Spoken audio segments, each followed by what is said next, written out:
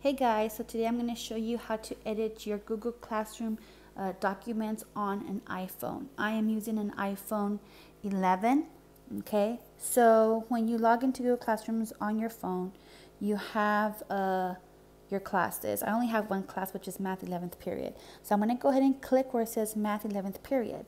Now on the very bottom, you have the word Stream, Classroom, and People. Well, Stream is just your announcements, okay? So as you can see here, Mr. Salinas posted an announcement that I can use uh, how to download the free six month TI-Nspire, that he also posted an assignment and all that jazz, okay? You can also respond to that. So let's go ahead and click on this and put K. And I can submit it, and there it is, okay?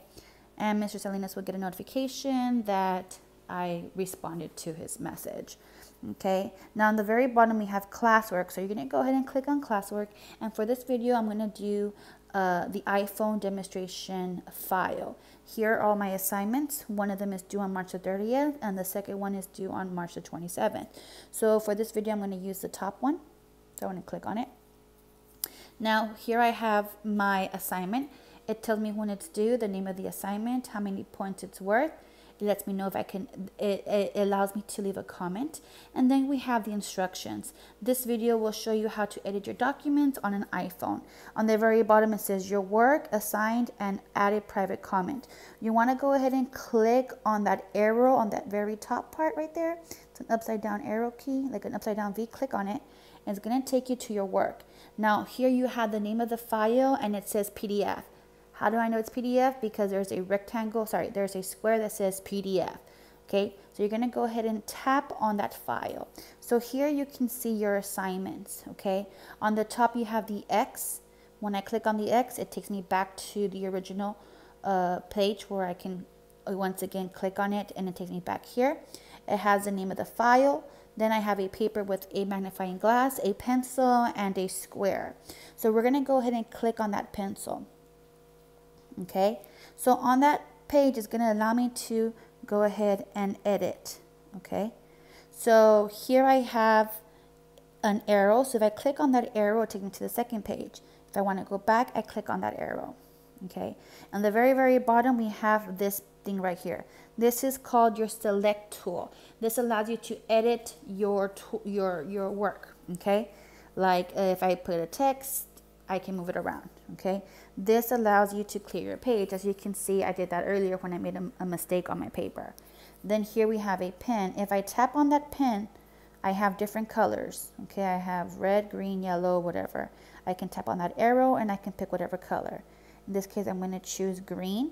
And at the very bottom, you have the width. You have a small, and it keeps getting bigger, and bigger, bigger, wider. I'm going to click on the second option because it writes better. And I can go ahead and write, hi. Okay. The next thing we have is a marker. Again, you tap on it, you can change the color. I'm to put pink, and then I can go ahead and write. See how it's a little bit thicker? The next thing we have is the highlighter. If I tap on the highlighter, I have the option to choose which color I'm going to use. I'm going to use I'm to use purple, okay? So I can highlight something there. If I don't like the way I highlight it, I can go to the eraser tool and tap on what I did and it erases it. Okay. Or if I just don't like all my work, I can click on the erase tool and clear the whole page. Do you see that? So right now I'm just going to quickly highlight. I'm to change the width and make it a little bit wider for highlighting. So I already highlighted that. I'm going to go ahead and write, uh, make a line here, tap on my pencil and put the word hi. See how it keeps the same settings as before?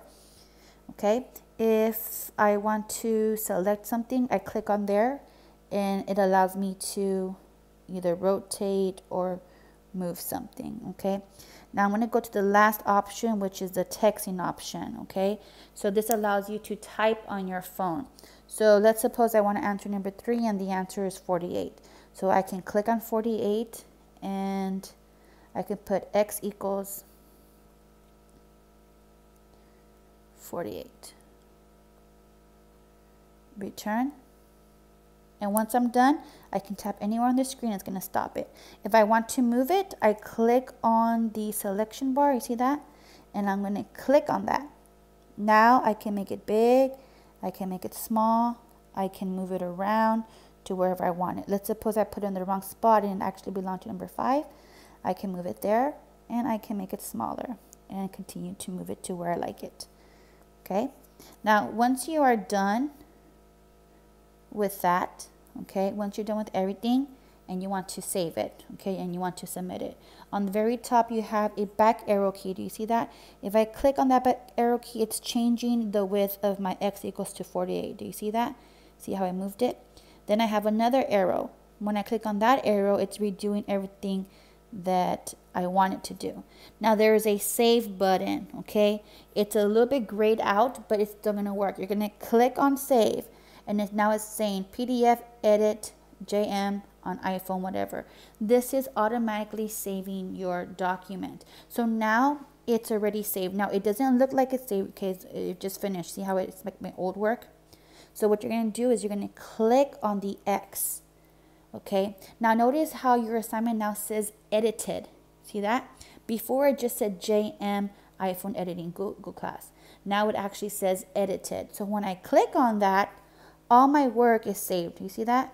Ta-da!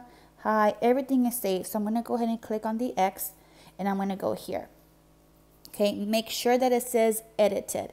All you have to do from there is click on turn in and it says, do you want to turn in the submitted thing? Yes, I'm going to turn it in. So all you do is turn it in and it's already been submitted.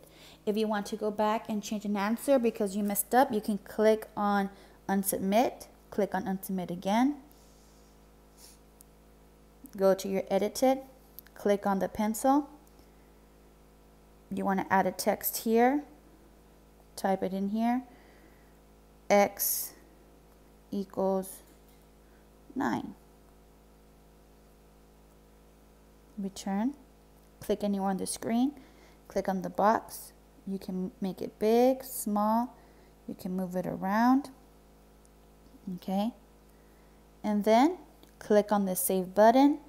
Now it's saving again. Click on the X where it says next to editor, click on X. And now it's automatically saved. So when I click on it, you can see that my x equals 9 is there. Okay, so click X, click turn in, turn in again, and you're done. So this is as simple. This is so simple to do. I really hope you enjoyed my small tutorial on how to edit on an iPhone. Take care, guys, and I'll see you guys soon. Bye.